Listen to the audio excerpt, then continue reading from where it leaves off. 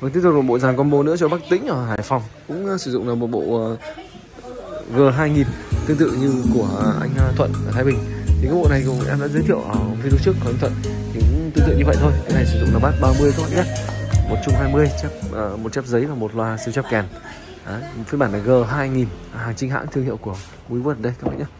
Đây đặc điểm nhận dạng nhận dạng ở những ờ, dòng loa này thì nó tố chất của nó là những dòng loa nhiều đường tiếng. Đấy, nhiều đường tiếng thì anh em có thể chơi được uh, nhiều thể loại nhạc và cho cái chất lượng âm thanh nó rất là ngọt ngào tí tách du dương. Với phiên bản này thì có cái thiết kế gồm sử dụng bát 30 Đấy. nó phù hợp với không gian của tầm 30 40 mét vuông và thiết kế rất là đẹp vỏ gỗ. Các đường nét được bò tròn rất là mềm mại. Ê e căng bằng lụa.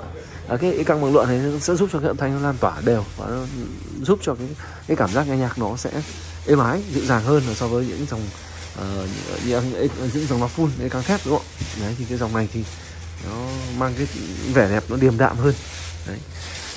À, nhã nhặn hơn và cũng như là có cái gì đấy nó rất là à, à, là chúng ta có thể là dành cho những người có cái chung chung tuổi ấy. Đấy. tất cả đều hộp xuất sách có đầy đủ hết các nhá. Đây anh em đang chuẩn bị bộ cho anh Thuận đây. Đấy. Thì trong này đã có đẩy liền vang. Đấy đẩy vang và tặng kèm một cặp mic 4 con 9 đấy. thùng xốp anh em cho em bóng rất là kỹ. Để gửi xe khách cho anh Thuận ở Thái Bình. Bộ này tiếp theo. Cũng tương tự như vậy. Đấy. anh em kỹ thuật vừa rồi đã test uh, căn chỉnh à, cho các bác và anh em rồi. Uh, phiên bản uh, X7 DAC thì đang có trước kia thì có hai phiên bản màu đen và màu màu vàng limited. Và gần đây thì có phiên bản uh, D50S nữa. Phiên bản uh, mới. Nâng cấp của phiên bản uh, X7 DAC các phiên bản X7 DAC thì cũng đã rất là tuyệt vời trong không gian gia đình rồi. Chúng ta có thể vừa hát vừa nghe, vừa xem phim với chất âm rất là hay. Nhưng mà sang đến phiên bản D50S thì nó cải tiến hoàn toàn.